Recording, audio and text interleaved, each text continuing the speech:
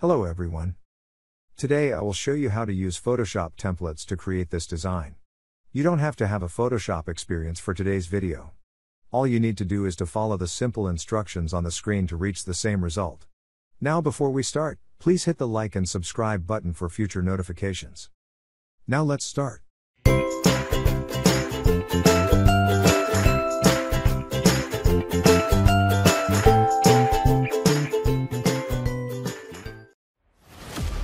Today we are going to use a website called Vexels. Vexels offers hundreds of PSD ready to use templates and also ready for print designs that you can use for any print on demand site with an official license. It is a perfect place for those who don't have graphic design experience at all. You will find a link in the description for it.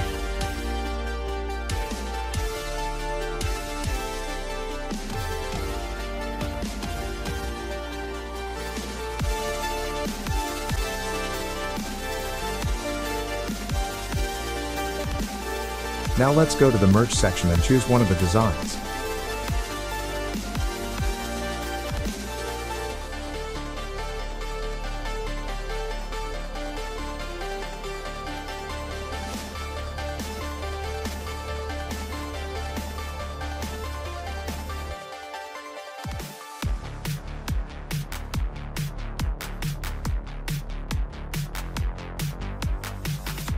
I like this template.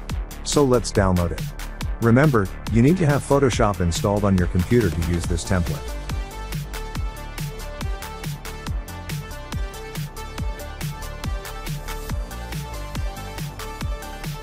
After downloading the template and opening it in Photoshop, you might get a notification if there are some fonts missing on your computer. In this case, all you need to do is search for the font name on Google, download and install them, and reopen the template.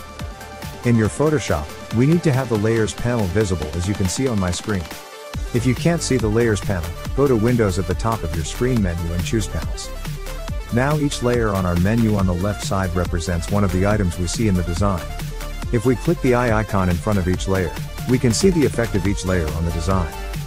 Let's begin by hiding the instructions layer which comes by default with all templates we download from Vexels. By clicking on the layer twice, we will open this layer in a separate window.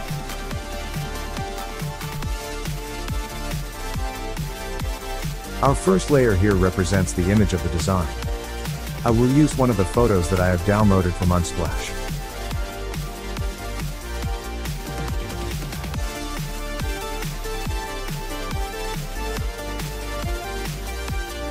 Unsplash provides copyright-free images in high resolution.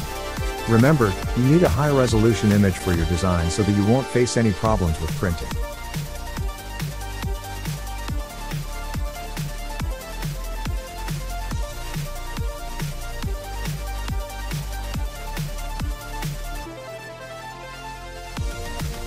Press Ctrl plus T to select and adjust the image to fit the size you want.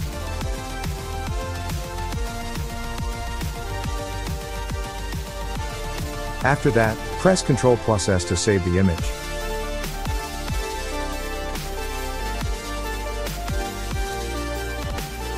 If we go back to the design panel, we can see that the image has been replaced successfully. Now let's do the same with the text layer.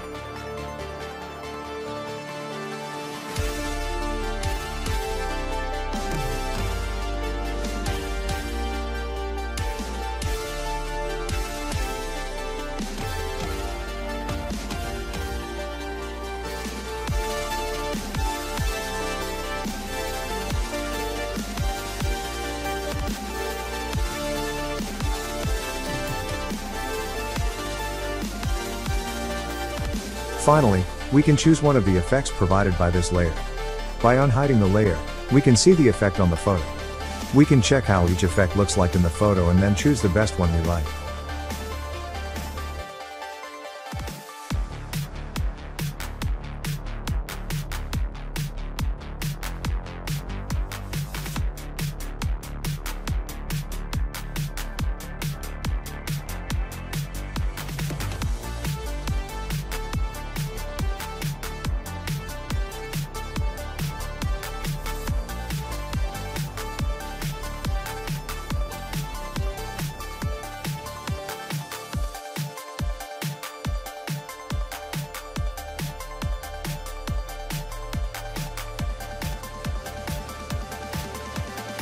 I think I like this one.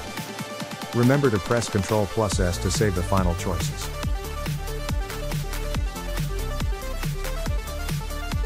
Finally, you need to export the design to PNG format. To do so, click on File from your top menu and then Export. Vexels offers hundreds of similar templates with different effects and designs. They also offer a mockup generator and other features that I will discuss in detail in future videos. If you like the video, please hit the like and subscribe button for further tutorials. Thanks for watching.